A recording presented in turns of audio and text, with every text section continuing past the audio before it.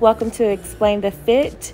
Y'all, this dress just out of the packaging, I was like, I love it. I think I'm in love. It's a double wrap. My friend was like, it's a real wrap dress. That other one with the hole in it is kind of a modified. So there was quite a bit of struggle. My boobs are like a G. So it's like, you know, maneuvering under all of this uh, machinery requires some effort. But once it was on, baby, oh,